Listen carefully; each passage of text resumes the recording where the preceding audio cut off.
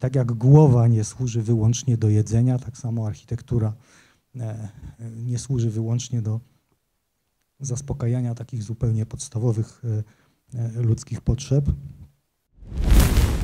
Obchodzimy tego samego dnia urodziny.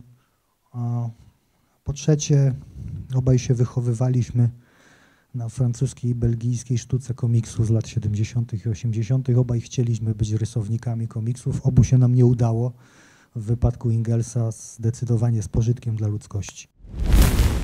Brak jest w języku ludzi kulturalnych słów wystarczająco obelżywych, żeby określić to dzieło. Skąd taki temat i, e, i, i dlaczego tak?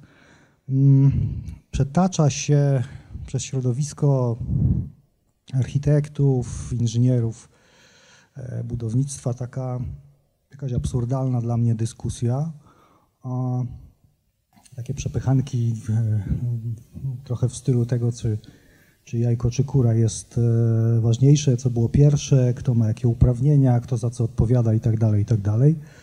E, no, architekci mają tutaj wyjątkowo mm, wyrośnięte ego i, i, i bardzo mocno próbują tej, tej swojej pozycji demiurgów e, bronić. Ja się przyznaję, że ja w ogóle tej dyskusji nie rozumiem i mm, trochę do tych dzisiejszych przemyśleń to, to właśnie ten, ten spór pomiędzy, pomiędzy duchem a materią, pomiędzy architekturą a budownictwem mnie sprowokował. Natomiast najdziwniejsze w tym wszystkim jest to, że mam nieodparte wrażenie, że to architekci tak naprawdę nie rozumieją, czym się zajmują. Szczególnie, szczególnie to w Polsce widać i że to gdzieś po naszej stronie jest ten problem. Tak? Problem ze, ze świadomością tego, czym architektura jest, kim są architekci, czym się zajmują, a w zasadzie bardziej czym e, zajmować się powinni. I trochę taką filozofią i przemyśleniami na ten temat chciałbym się z Wami podzielić i obiecuję Wam, że nie będę pokazywał żadnego swojego projektu. Odwrotnie niż zazwyczaj się to dzieje. No to teraz do meritum. Mm, gdzieś w mrokach dziejów ginie taki moment, e, kiedy pojawia się taka Boża iskra e, znikąd, E, nie ma nic i potem, i potem nagle pojawia się ludzka twórczość. Nic jej nie poprzedza. E, trochę tak jak z cywilizacją egipską, która od razu w historii pojawiła się jako, jako coś dojrzałego. E, I to jest cecha nie jedyna, ale to akurat chciałbym dzisiaj się zająć. To jest cecha, która nas odróżnia od świata zwierząt. To, że człowiek oprócz tego, że jest stworzeniem, jest też twórcą. To jest dowód nie tyle na ewolucję człowieka, bo przecież żadnej ewolucji w sztuce nie było, ona się po prostu pojawia, co raczej na jego rewolucyjne pochodzenie, jak to Chesterton pisał, e, to wspominawszy fakt, że żaden renifer nigdy nie próbował narysować człowieka. To nigdy nie było tak, że małpa rysowała renifera kiepsko, a człowiek, kiedy kiedy stał się człowiekiem, doprowadził tę umiejętność do perfekcji. Nic takiego nie miało miejsca. Mm, e, ten błysk geniuszu jest czymś absolutnie nagłym i niespodziewanym w naszej e, historii. Pies nigdy nie był lepszym malarzem w swoim dzikim stanie, kiedy jeszcze był szakalem. Dziki koń nie był impresjonistą, w przeciwieństwie do konia współczesnego, który wzorem Picassa wybrał wybrał kubizm. Nic takiego nigdy się nie działo. Wiemy, że mamy do czynienia z człowiekiem. Ktokolwiek widział e, te rysunki naskalne w Laskowie, jakie, jakie ciarki nam chodzą po plecach, jaką, jaką odczuwamy, odczuwamy więź e, z artystą, który te rysunki tworzył, jakie w tych liniach jest niesamowite napięcie. I nikt e, z nas nie ma żadnych wątpliwości, że uczyniła je ręka człowieka, nie, nie małpa, nie pies, nie renifer, tylko, e, tylko, tylko właśnie człowiek. I pomimo tego, że ze światem zwierząt e, dzielimy bardzo wiele różnych cech, mamy podobnie zbudowany szkielet, podobnie się poruszamy, oddychamy takim samym powietrzem, mamy mechanizm wzroku, układ trawienny i tak dalej, to umiejętność tworzenia, umiejętność, albo nawet każdy, kto się tym zajmuje, wie, przymus tworzenia dzieł sztuki jest czymś, e, czymś wybitnie ludzkim i to ta sztuka powoduje, że zaczynamy myśleć o trochę mniej przyziemnych rzeczach. Że zaczynamy patrzeć w gwiazdy e, i skupiamy się no, nie tylko na, e, na zwykłym biologicznym przetrwaniu i, i zaspokojeniu najbardziej przyziemnych potrzeb. Ale przecież i w przyrodzie, w świecie zwierząt czy, czy roślin mamy do czynienia z, no moglibyśmy powiedzieć, wybitnymi dziełami inżynierskimi. Tak? Jakby ptasie gniazda są, są absolutnym arcydziełem, czy termitierem. Czy problem tylko taki jest, że te biologiczne maszyny, jakimi są e, zwierzęta, mają wgrany pewien kod, który za każdym razem jest odtwarzany dokładnie w taki sam sposób. Te zwierzęce budowle się nie zmieniają w czasie, ciągle są takie same, nie, nie, nie zmieniają się, nie, nie podlegają modom, nie przechodzą twórczej ewolucji od form megalitycznych przez, przez e, dostojny ciężar sztuki romańskiej, strzelistość gotyku czy, czy przepych baroku, e, aż po, po współczesny redukcjonizm i, e, i czystość formy. I te zmiany sztuki, to, że ona podlega modom, E, są znowu e, cechą wyłącznie przypisaną do, e, do człowieka. Proszę Państwa, to jest taki zwykły blok marmuru, jakich przez tysiące lat milionami pewnie ludzkość w różnych kamieniołomach na świecie wydobywała. Technologia się zmienia, narzędzia się zmieniają, wydajność się zmienia, ale ale kamienie i, i ludzie ciągle są e, tacy sami. A to taki trochę mniejszy blok marmuru, ociosany przez niejakiego Michała Anioła Młona Rotiego między rokiem 1498 a 1500, pewnie był w waszym wieku, miał 24 lata. I, i teraz e, pytanie do publiczności. Jak wam się zdaje? abstrahując od e, wagi i tego, że dzisiaj nikt nie wie, ile kosztują materiały budowlane. E, jak Wam się zdaje, który z tych bloków marmuru ma, ma większą wartość?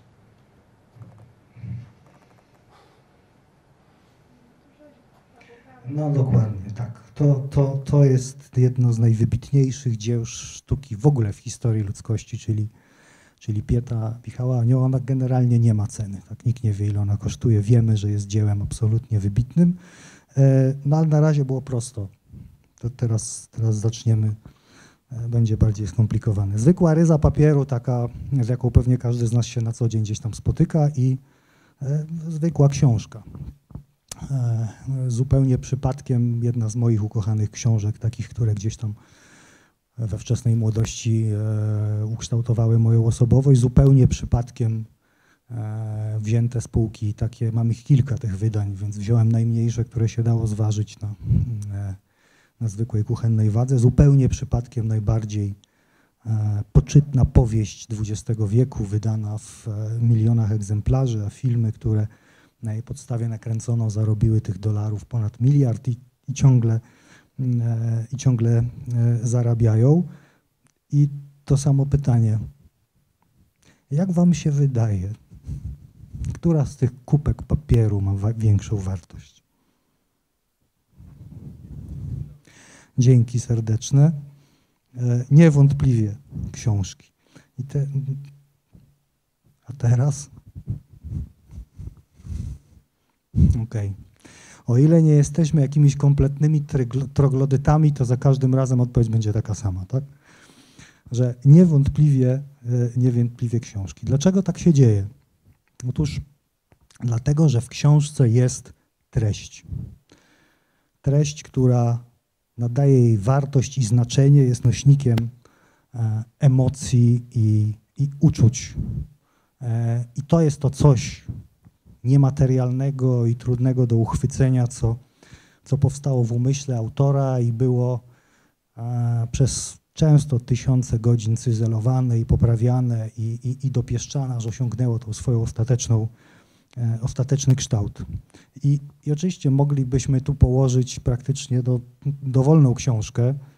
E, fakt, są książki, które mają wartość wyłącznie opałową, łącznie z dziełami niektórych noblistów, ale e, czy by to było jakiś dramat Szekspira, czy lokomotywa Tuwima, czy choćby encyklopedia, to, to zawsze ta odpowiedź będzie taka sama. Tak? Książka, która ma w sobie jakąś treść, zawsze ma większą wartość niż sterta niezapisanego e, papieru, e, niezależnie od tego, ile tak naprawdę waży. No ale to nadal było proste. Teraz się zaczną schody. Z muzyką jest zupełnie inaczej, no bo muzyka to nie są nuty. To nie jest papier, na którym jest zapisana, to nie jest nośnik, na którym jest nagrana, to nie jest instrument. W końcu to nie jest, e, to nie jest muzyk. Znowu mamy coś kompletnie o, niematerialnego.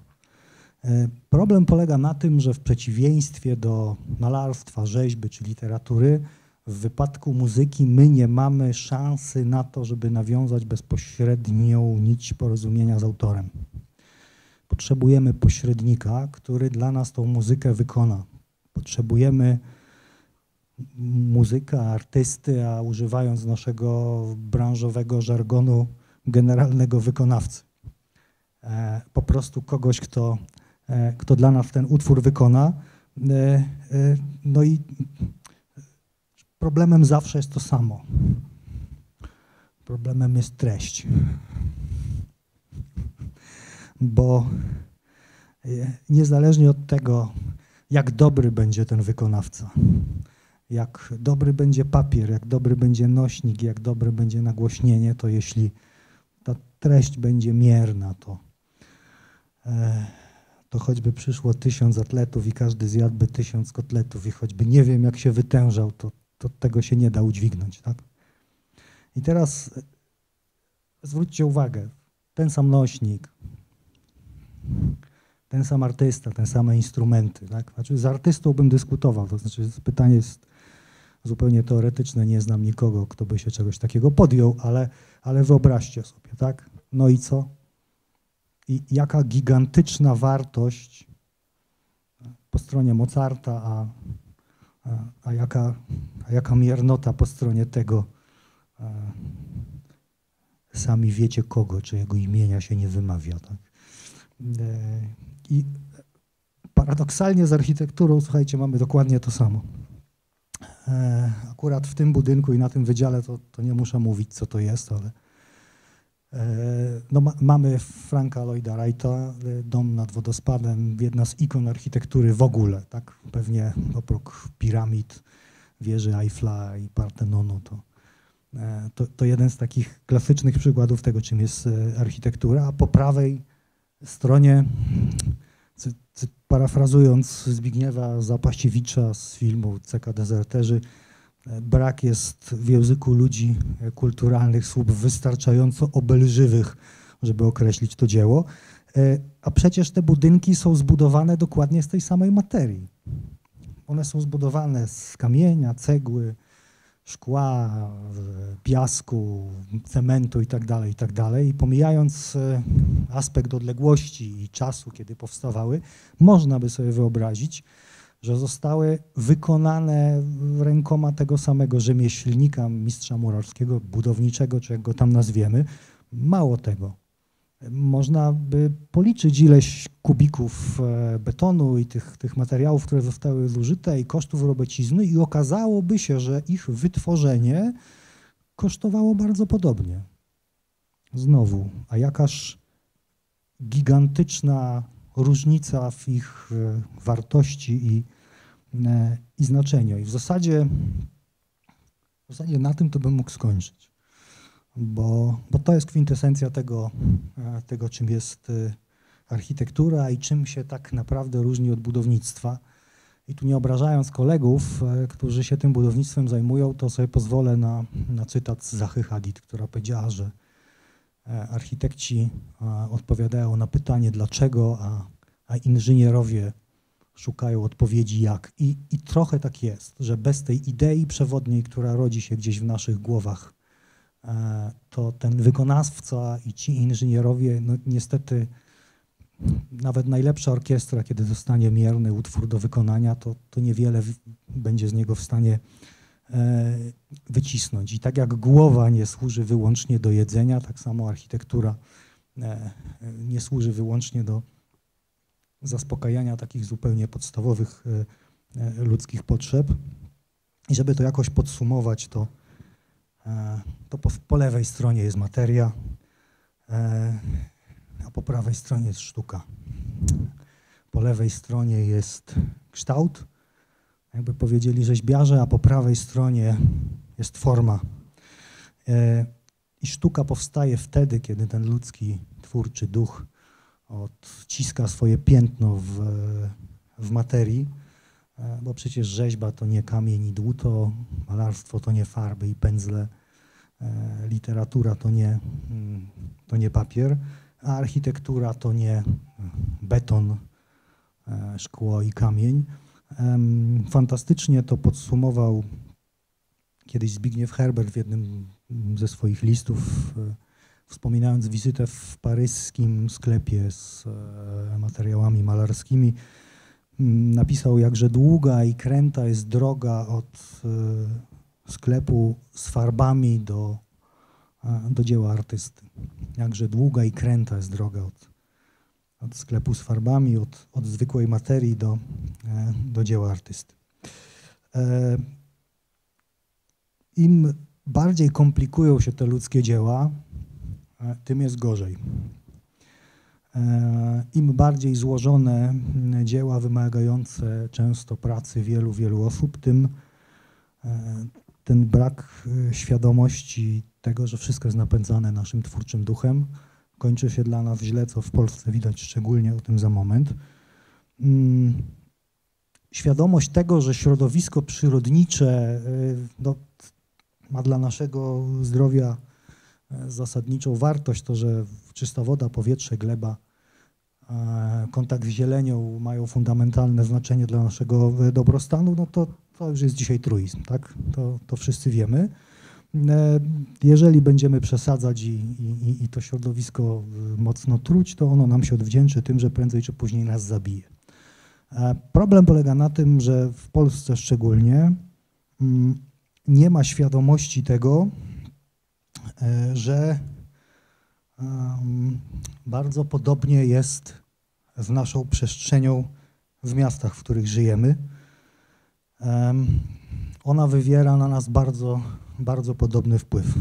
Ja przyjechałem z Rzeszowa, to, to dlatego to jest ten, dla mnie szczególnie ważne, bo ta przestrzeń, którą wokół siebie tworzymy, ona w dużej mierze jest odpowiedzialna za, za intensywność i jakość relacji międzyludzkich, za poczucie bezpieczeństwa, za to, e, jak się uczą nasze dzieci, czyli wy, jak intensywnie pracujemy i, i, i wydajnie, czyli czyli my, one, one odpowiadają nawet za takie, oczywiście nie w 100% i nie, i nie jedynie, ale, ale y, y, za wskaźnik rozwodów, za mm, występowanie chorób psychicznych, za poziom alienacji i tak dalej, i tak dalej. Ta, ta wiedza w Polsce się bardzo mm, kiepsko e, przebija. A przecież projektowanie miasta jest wiedzą, której się można nauczyć, jest nauką, no jest sztuką, do której trzeba mieć, hmm, trzeba mieć odrobinę talentu. I ludzie zawsze się z tą przestrzenią mocno identyfikowali. 500 lat temu, kiedy postawiono pomnik Dawida e, we Florencji, wcześniej, kiedy, e, kiedy budowano kopułę nad Dłomo. To były ogromne emocje, kiedy, kiedy jeden z, z e, zapaleńców tego Dawida próbował uszkodzić, to, to trzeba było go ratować, bo tłum prawie go rozerwał na strzępy. To, to, to nasze poczucie identyfikacji z przestrzenią w mieście, ono się nie zmieniło. My w Polsce mamy w tym ogromne problemy po, po okresie tam ostatnich 70 lat, kiedy kompletnie lekceważymy e, to, e, w jakiej przestrzeni e, żyjemy. I mądre miasta i mądre państwa zawsze wiedziały, że uprawianie architektury czy planowanie miast jest dziedziną szalenie niebezpieczną i że no nie da się przed nią schować. Tak? To ona w nas uderza, jak tylko przekroczymy E, próg domu, nie da się jej schować do piwnicy, kiedy nam się znudzi. dlatego, e, dlatego to wymaga kontroli, e, podobnie jak produkcja leków czy produkcja żywności, ponieważ te, te szkody mogą być niepowetowane i, i trwać przez dziesięciolecia. I nie można sobie pozwolić na to, żeby w mieście budować cokolwiek się chce, gdziekolwiek się chce i w myśl zasady rób ta, co chce ta. Natomiast no, Powiedzmy sobie szczerze, tak, jest powód, żeby uderzyć się mocno w piersi. My, architekci, mamy za sobą okres błędów i wypaczeń, jak to się e, za komuny mówiło, bo mm, wszystkie dobre zasady kształtowania przestrzeni miejskiej mniej więcej od początku lat 50. zostały ubiegłego wieku zostały przez modernizm wyrzucone do śmietnika. E, I w e, myśl lewicowych założeń, bo modernizm był ruchem skrajnie lewicowym, postanowił sobie wyhodować nowego człowieka, e, wyrzucił wszystkie poprzednie zasady, niestety łącznie z tymi ludźmi, którym miał robić dobrze. Skończyło się tak jak z każdą komuną. Gdyby ją wprowadzić na Saharze, zabrakłoby piasku. Kiedy ją wprowadzono w naszych miastach, one stały się czymś, co prawie, że nie nadaje się do życia. I ten trend dzisiaj, od tak naprawdę od 30-40 lat, E, w świecie umownie zachodnim tej cywilizacji białego człowieka e, się odwraca. Mamy ten ruch nowej urbanistyki i, i, i odwracania tego fatalnego trendu budowania gęstej, e, pełnej życia tkanki miejskiej. Natomiast w Polsce w jednym z projektów, w jednym z dużych miast Wydział Urbanistyki jako kontekst, do którego mamy się dowiązać, pokazał nam blokowisko z lat 70. E, niestety bywa i tak. E, ok. Parę przykładów tego, jak niszczycielskiego i niebezpiecznego narzędzia przyjdzie Wam kiedyś używać. Mm, e, pewnie biorąc pod uwagę to, co tam się gdzieś w mediach dzieje i kryzys parlamentarny w Wielkiej Brytanii, to, to, to większość z Was wie, co to jest za budynek. To jest wnętrze brytyjskiego parlamentu budynek, który jest funkcjonalnym koszmarem od 500 lat. On w ogóle się nie nadaje do tej funkcji, którą pełni. Jest za ciasny, e, miejsc siedzących jest dużo mniej niż parlamentarzystów, w związku z czym przed e, każdym posiedzeniem trwa gorączkowa walka o to, kto będzie siedział. Cała reszta, która nie zdąży, stoi na korytarzach i wisi na balkonach. E, nie ma żadnych pulpitów, na których można E, rozłożyć dokumenty. Obie strony siedzą e, no, naprzeciwko siebie w takiej pozycji, która raczej konsensusom e, nie sprzyja. Odległość między nimi jest długością, dwukrotną długością dawnego rapiera. To też nie jest przypadek. Absolutny koszmar. Ciasno, wąsko, brak wystarczającej ilości toalet, brak, brak miejsc siedzących, a jednak od 500 lat działa. W czasie II wojny światowej ten budynek został przez Niemców zbombardowany. Kiedy trwała bitwa o Anglię, oni sobie upatrzyli, mm, upatrzyli parlament brytyjski jako cel nalotów, e, chcąc e, złamać ducha Brytyjczyków. E, kiedy, kiedy udało się ich odeprzeć, natychmiast zapadła decyzja o tym, że E, trzeba ten budynek odbudować. Mm, no, powody są dwa. Po pierwsze, wojna nie jest stanem chaosu prawnego i instytucje muszą normalnie funkcjonować. Drugi był e, stricte e, moralny. Należało pokazać Niemcom, że Brytyjczycy się nie dadzą zdusić i odbudować brytyjskiego ducha i poczucie e, godności. I natychmiast przy tej okazji pojawił się pomysł, że może by ten budynek jednak troszeczkę zracjonalizować. To znaczy przebudujmy go tak, żeby on się stał bardziej użyteczny, naprawmy to, co było złe, uczyńmy go bardziej przyjaznym dla, e, dla ludzi, którzy, e, którzy z niego korzystają. I ówczesny premier Winston Churchill głośno zaprotestował i powiedział takie bardzo znane słowa: e, My kształtujemy nasze budynki, a one kształtują nas. Anglicy, a Churchill szczególnie wiedzieli, że to właśnie ta niewygoda i te problemy funkcjonalne ukształtowały, tak jak forma kształtuje ciasto, tak one ukształtowały całą formę dyskusji parlamentarnej, parlamentarnej w konsekwencji brytyjski system prawny, e, sposób prowadzenia debat i tak dalej, i tak dalej. I one były dziedzictwem Wielkiej Brytanii, dlatego zapadła decyzja o tym, że odbudujemy ten budynek dokładnie tak, e, jak funkcjonował przez 500 lat, ze wszystkimi jego mankamentami. Tak też się stało. Te słowa Churchilla E, profesor Jan Gell, pewnie najbardziej znany urbanista dziś na świecie, parafrazuje mówiąc, my kształtujemy nasze miasta, a one kształtują nas. To jest zawsze sprzężenie zwrotne. Ten świat, który wokół siebie tworzymy, wpływa na nas i na naszych bliźnich w sposób e, nieprawdopodobny i pewnie temu wpływowi trzeba by poświęcić no, cały, e, cały semestralny kurs. Dobra. Co to jest Tomek, ja wiem, że ty wiesz, no. Australia. Dobra. Z czym wam się kojarzy Australia? Dobra, z czym jeszcze?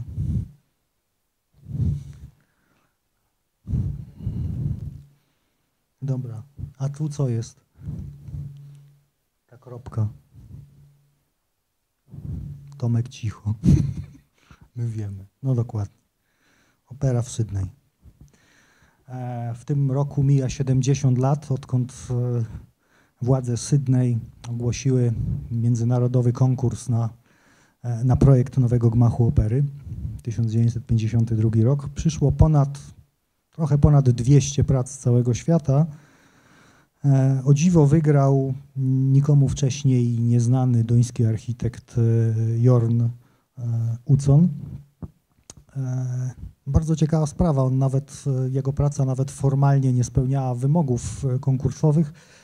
Pokazał coś, co pewnie dzisiaj byśmy interpretowali trochę jako takie koncepcyjne szkice, a pomimo to ta idea mm, zachwyciła sąd konkursowy i, e, i Uconowi powierzono e, realizację tego, e, tego projektu. To jego opus magnum zdecydowanie, ale też bardzo dramatyczna, dramatyczna historia, bo przez 10 lat nie potrafił skończyć projektu ani budowy.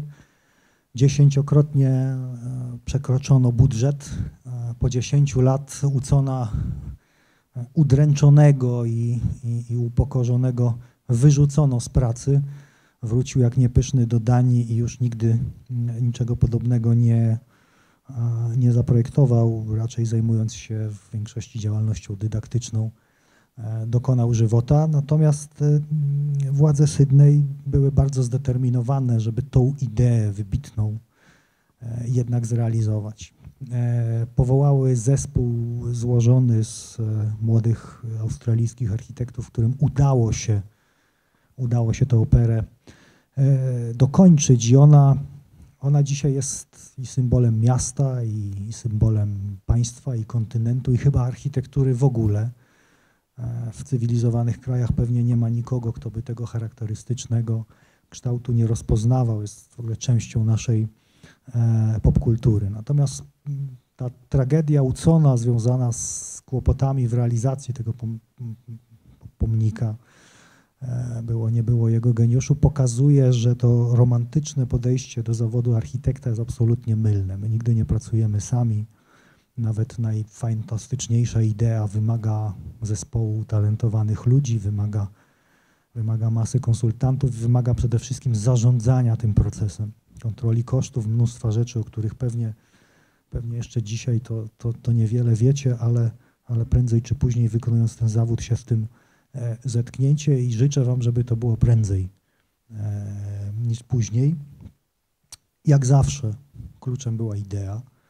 E, popatrzcie, tu jest parę prac konkursowych, które wtedy zostały złożone i, i, i przyjrzyjcie się, przed czym nas uchroniła boska opatrzność. Opera w Sydney no, mogłaby być jednym z takich koszmarków, a to 70 lat temu były topowe międzynarodowe biura. I znowu Bogu dziękować, że idea nawet, nawet jeśli po grudzie i trochę raniąc własnego autora udało się zrealizować. Dobra. Kto wie, kto to jest? Hallo. Teraz? Okej. Okay. Obserwuję tego faceta od, od grubo ponad 15 lat. E, lubię go szczególnie z paru powodów. Ten pierwszy podstawowy to jest taki, że jest człowiek, który mimo, że nie, nie może się doczekać swojej nagrody Fitzgera do dzisiaj, e, coś go tam nie lubią, e, diametralnie zmienił sposób postrzegania i tworzenia architektury. E, to jest prawdziwa rewolucja. Po drugie, obchodzimy tego samego dnia urodziny. Po trzecie, obaj się wychowywaliśmy na francuskiej i belgijskiej sztuce komiksu z lat 70. i 80. Obaj chcieliśmy być rysownikami komiksów. Obu się nam nie udało. W wypadku Ingelsa zdecydowanie z pożytkiem dla ludzkości. Kolejna rocznica. 20 lat temu, 2002 rok, Bjarke Ingels ze swoim e, ówczesnym wspólnikiem dostają szansę na zrobienie pierwszego dużego projektu. To jest taka dosyć duża mieszkaniówka, prawie 10 tysięcy metrów kwadratowych, 10 tysięcy metrów pumu, jak to się mówi w Polsce. Do tej pory zrobili fantastyczną i pionierską, ale maleńką przystań dla, dla żaglówek w Kopenhadze. No i pojawiło się zlecenie od, od jednego z deweloperów, który kupił działkę na głębokich przedmieściach Kopenhagi um, z działkami w Danii jest jak, jak teraz w Polsce, czyli trudno kupić dobrą ziemię. No, głębokie, głębokie przedmieścia, poprzemysłowe tereny w środ pośrodku niczego i pytanie, które postawił sobie właściciel, czym możemy przyciągnąć ludzi do tego, żeby chcieli tu zamieszkać? No i zupełnie naturalna odpowiedź, ceną. Ma być tanio. E, ma być tanio i taki wymóg został postawiony architektom i o dziwo im się udało. E, ten budynek e, niespecjalnie odbiegał ceną od takiego normalnego standardu zwykłej kopenhaskiej mieszkaniówki, natomiast to, co, co w sposób absolutnie rewolucyjny zrobił Ingles, to to, że wywrócił ten budynek na lewą stronę dosłownie i w przenośni. Jakby zbudował coś, co przypomina autobus, w którym wszyscy siedzą w pierwszym rzędzie. E, ludzie nie zaglądają sobie w okna, każdy ma dobry widok, nie ma ciemnego podwórka, po prostu wywrócił na lewą stronę ten klasyczny blok e, zabudowy mieszkaniowej charakterystycznej dla Kopenhagi. Mm, I wielki sukces.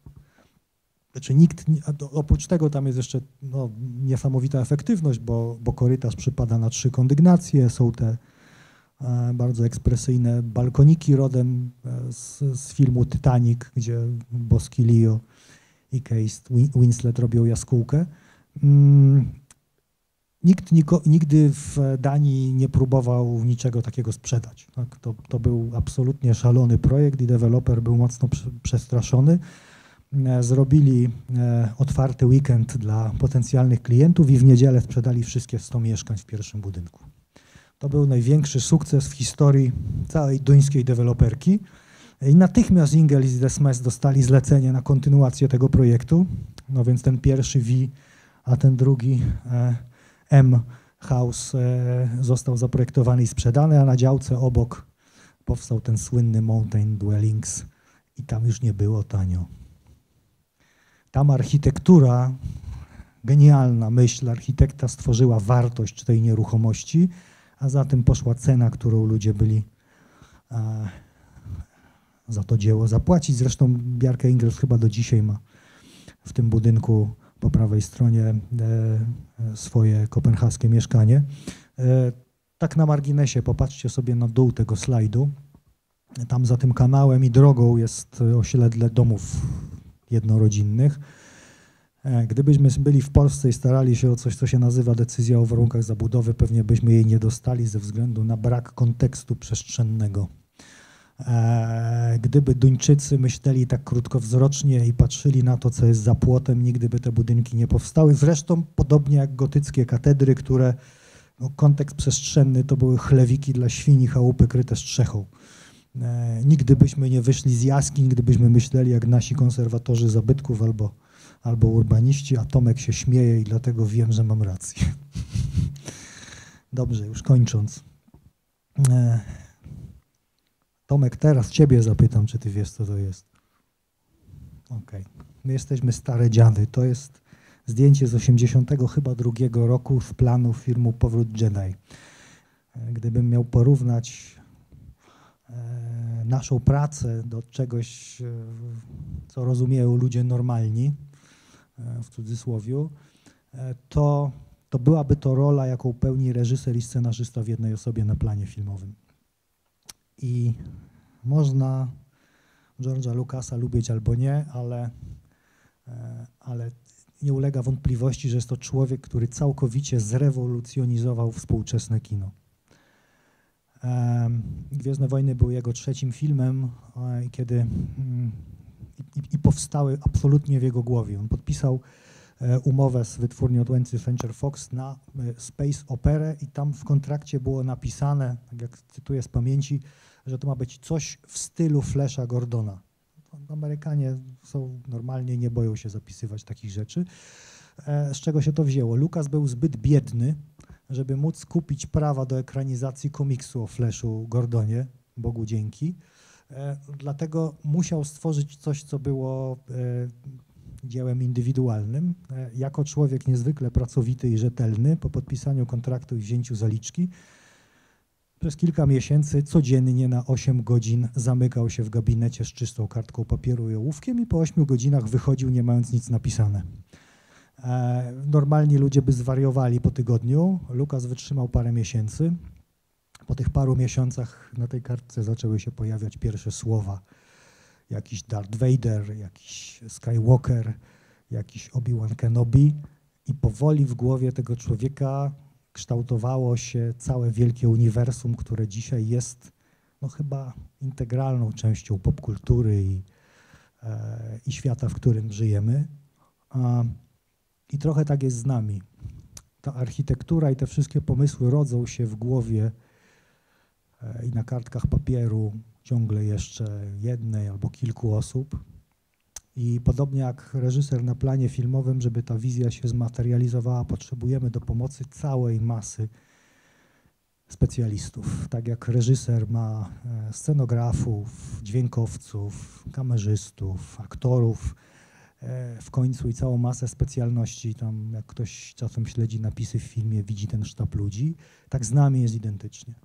Potrzebujemy pomocy konsultantów, inżynierów, konstruktorów, elektryków, instalatorów, kontrolerów kosztów i podobnie jak reżyser na planie filmowym ma producenta, który pilnuje kasy, tak samo my mamy inwestora, który też e, hamuje nasze zapędy, żebyśmy nie przekroczyli budżetu, bo, e, bo każda inwestycja ma swój budżet. E, tak nawiasem mówiąc, e, już zupełnie na marginesie zwróćcie uwagę na uwiąd e, współczesnej sztuki filmowej, jak e, cierpimy na przerost ilości efektów specjalnych, na które są przepalane budżety, tylko problem polega na tym, że nie ma ciekawych historii do opowiadania.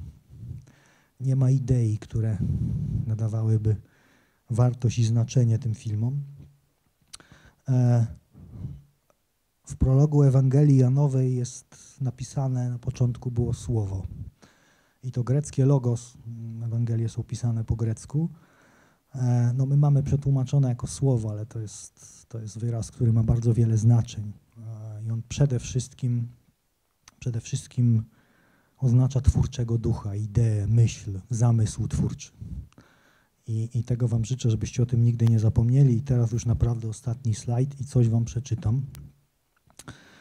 To jest e, fragment ze wstępu do takiej książeczki, kiedyś świadomie zapomnianego polskiego historyka Feliksa Konecznego, który e, no, za komuny był wycinany, genialny facet. Ja, ja zacząłem go czytać mniej więcej jak byłem w waszym wieku, czyli na studiach tak ze 30 lat temu. Posłuchajcie i niech to będzie e, podsumowanie tej całej mojej gadaniny.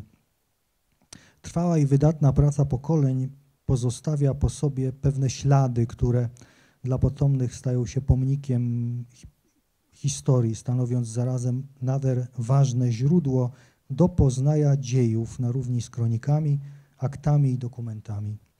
Brak tak zwanych monumentalnych zabytków dziejowych jest ciężkim aktem oskarżenia wobec historii dla narodu, który ich po sobie nie pozostawił. Dzikie hordy nie utrwalają śladów swojego pochodu żadnymi zabytkami historycznymi. Czym wyższa cywilizacja, tym więcej pozostaje po niej trwałych pomników, gdyż społeczność taka ma wiele potrzeb, a wśród nich przede wszystkim owe potrzeby idealne, które zaspokaja dziełami sztuki. Górują więc nad jej miastami wspaniałe świątynie, a świadectwem ładu społecznego są stare gmachy publiczne. Dobre to świadectwo, jeżeli one przewyższają starannością i wspaniałością budownictwa prywatne mieszkania obywateli, a źle się dzieje, gdzie nastaje stosunek odwrotny. Amen. Bardzo Państwu y, dziękuję, a jak mamy jeszcze chwilę czasu na jakiegoś małego Q&A, to, to, to jestem do dyspozycji. Nie jest rzeczą prostą zadać sali pytań w sytuacji, w której prowadzisz e, wykład bardziej humanistyczny niż techniczny. Z zasady jesteśmy przyzwyczajeni do tego, że posługujemy się metryką, e, pomiarem i dla nas wszystko, co się wiąże z budownictwem i architekturą jest mierzalne. Właśnie. Sztuka taką nie jest. Pytanie do Ciebie takie bardziej humanistyczne. Skąd tak dalece w Tobie jako architekcie i zawodowcu takie humanistyczne przesłanie o tym, czym winna być, a nie jest, według tej dzisiejszej tezy, architektura współczesna? Odpowiedź krótka jest nie wiem. E, odpowiedź długa. E, odpowiedź średnia jest taka, e, moja żona mi, mi mówi, wie, wiecznie zawsze robisz coś inaczej niż inni. Ja mówię, to powinnaś być ze mnie raczej dumna. Odpowiedź dłuższa i taka prawdziwa. Dlatego, że architektura nie jest dziedziną techniczną. Architektura jest dziedziną humanistyczną. Przede wszystkim my używamy materii po to, żeby realizować pewne swoje wizje, żeby materializować to, co się nam rodzi w duszy i w głowie. I to wymaga wiedzy technicznej. Natomiast proszę pamiętać, że w wielu krajach świata, od choćby w takiej Danii, a Duńczycy dzisiaj rządzą na rynku, tak? E, to Bjarke Ingels ich pociągnął do góry, to architekci nie są inżynierami. My nie jesteśmy od tego. Na miły Bóg, ja się nie wstydzę tego powiedzieć, ale używam matematyki na poziomie szóstej klasy szkoły podstawowej. No, to maks. Tak, więc e, na co nam to wszystko? E, jestem humanistą. Zawsze byłem. E, I, I, architektura zawsze była dla mnie dziedziną humanistyczną. Oczywiście, tak jak potrafię wymienić żarówkę i parę rzeczy w domu naprawić, to, e, to potrafimy tą dokumentację techniczną robić, ale bez kontaktu z prawdziwymi inżynierami, tymi, którzy, którzy liczą, to, to, to, to nic by z tego nie było. No, znowu, Zaha Hadid. Architekci szukają odpowiedzi na pytanie dlaczego, a inżynierowie na pytanie, E, jak? Ja nie umiem lepiej odpowiedzieć, Tomek. No,